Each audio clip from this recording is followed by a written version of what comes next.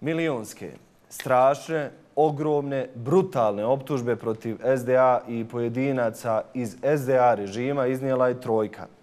Elmedin Konaković, Nermin Nikšić i Edin Forton. Oni kažu da ovih par miliona nije ništa. Koliko će još miliona optužbi biti? Krenuli smo sa jednim narativom koji smo nas, nekoliko ministara vanjskih poslova, prezentirali Evropskoj uniji. Rekli smo da tražimo više integracije prije članstva.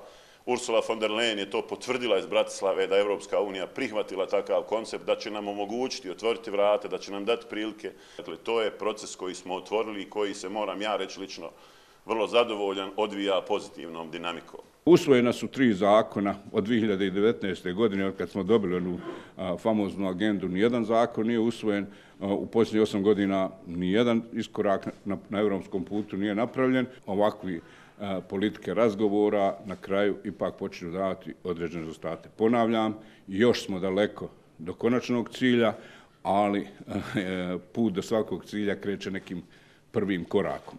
Ukoliko ovaj paket zakona prođe u sljedeću srijedu na Domu naroda, to će biti najveći iskorak ka evropskom putu u najmanje zadnjih pet godina. I neko će sjesti u Briselu i ocijeniti je li to trend kojim Bosna i Hercegovina treba da se kreće. Bosna i Hercegovina je dobila 303 miliona eura, 57% od ukupnih grant sredstava za prostor Zapadnog Balkana.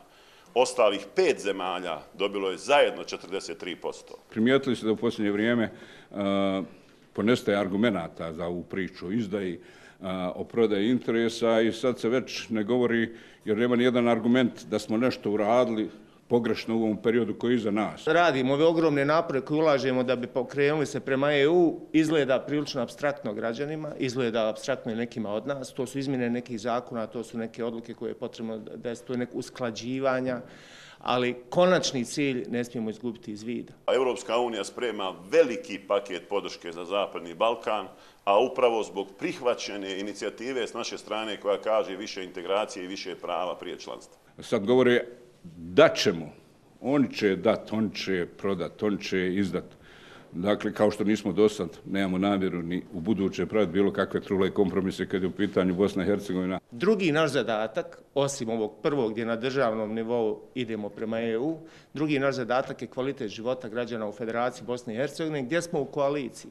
Ovo je zemlja, da još jednom svi zajedno ponovimo, u kojoj nijedne odluke na državnom nivou nema bez da se oko te odluke dogovore svi narodi koji u njoj žive i svi ostali građani. I sigurni smo kad postignemo ovakve dogovore kakve smo postigli na posljednjem sastanku, da od toga imaju koristi građani u cijeloj Bosni i Hercegovini. I znate da je nemoguće bilo praviti bilo šta osim ove koalicije koja trenutno radi i na naše opšto zadovoljstvo, opšte zadovoljstvo funkcioniše.